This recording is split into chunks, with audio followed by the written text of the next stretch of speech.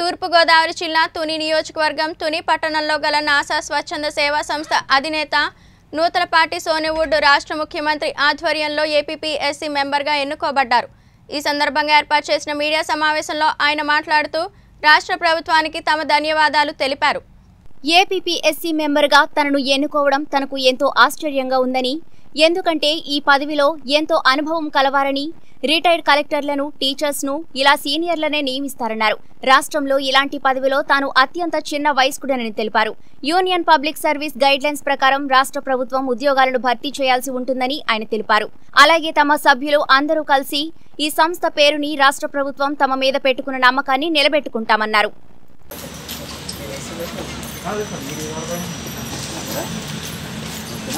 మాకు చూస్తున్నా పర్లేదండి ఆ, ఉంచండి సార్.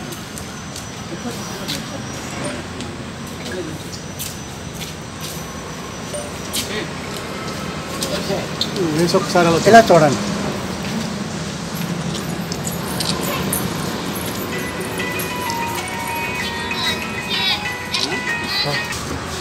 ఈరోజు నా ఆహ్వానాన్ని మన్నించి మీ వచ్చినందుకు మీ అందరికీ నాసా స్వచ్ఛంద సేవా సంస్థ అనగానే ప్రేమదాస్ గారు.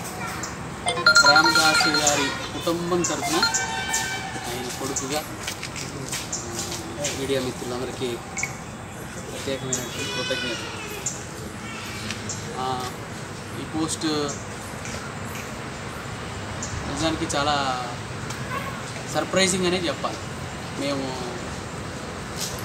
ఇంత మంచి స్థానాన్ని ఇస్తారని నిజానికి ఊహించలేదు.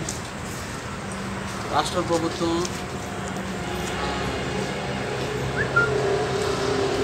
ముఖ్యమంత్రి గారి యొక్క ఆధ్వర్యంలో ఇద్దరు మెంబర్స్ని ఏపీపీసీఎస్సి పబ్లిక్ సర్వీస్ కమిషన్కి నామినేట్ చేసింది ఆ ఇద్దరు నిలుపుకొని ఒకటి సుధీర్ కర్నూలు నుంచి రెండు నేను.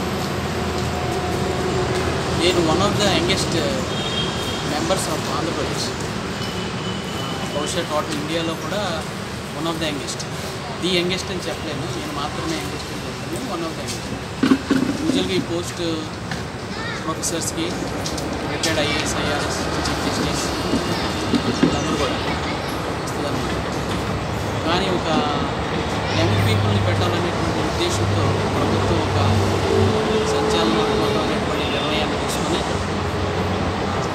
మరి మా ఇద్దరిని ప్రస్తుతానికి వేకెంట్గా ఉన్నటువంటి పొజిషన్స్లో మా ఇద్దరిని నామినేట్ చేయడం ఈ బోర్డులో as per the constitution three to nine members ఉంటారు. ముగ్గురు నుంచి తొమ్మిది మంది వరకు ఉండొచ్చు. ప్రస్తుతానికి ఏడుగురు ఉన్నారు. ఇద్దరు సరిగ్గా హాజరు కావడం లేదు. వాళ్ళు కొన్ని కారణాల చేత అందులో ఇద్దరు కూడా కోర్టుకు వెళ్ళడం అందులో ఒకడు చైర్మన్ ఈ మధ్యకాలంలో మన పేపర్లో కూడా ఆ విషయాలు చూడటం జరుగుతుంది. ఉద్యోగాలు ఉత్పత్తి చేయకుండా ఆఫీస్కి రాకుండా నోటీసులు విడుదల చేయకుండా కొంత ఇబ్బందికరమైనటువంటి పరిస్థితులు చైర్మన్ ఆధ్వర్యంలో అక్కడ జరిగినట్టుగా మనం న్యూస్ పేపర్లో కూడా మనం చేసింది. ఈ క్యాలెండర్ ఇండియన్ కాన్స్టిట్యూషన్లో ఫస్ట్ నుంచి డిజైన్ చేయబడిన క్యాలెండరే. అయితే మన రాష్ట్ర ప్రభుత్వం కూడా దాన్ని ఒక సిస్టమేటిక్గా విడుదల చేయాలి. ప్రజల్లోకి అవేర్నెస్తో జాబ్స్ మీద ఉన్నటువంటి అవేర్నెస్తో ముందుకు వెళ్ళాలని రాష్ట్ర ప్రభుత్వం కూడా ఉన్నట్టుగానే కనిపిస్తుంది. కాబట్టి ఈ ఈ క్యాలెండర్ ప్రకారంగా అలాగే APSC public service commission calendar ప్రకారంగా ఏదైతే union public service service commission guide lines ఉన్నాయో మాకు పబ్లిక్ సర్వీస్ కమిషన్ ఆఫ్ స్టేట్కి దాని పరంగా మేము కూడా ఈ సంవత్సరం అంతా కూడా వేకెన్సీస్ అన్నీ కూడా ఫిల్అప్ చేయాల్సిన అవసరం ఉంది.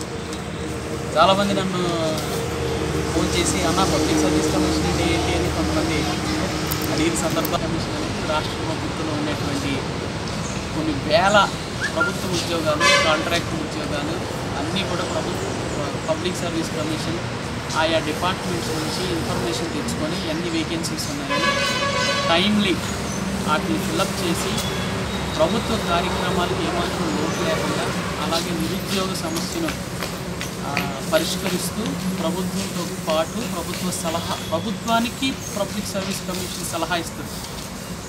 పబ్లిక్ సర్వీస్ కమిషన్కి ప్రభుత్వం సలహా ఇవ్వదు.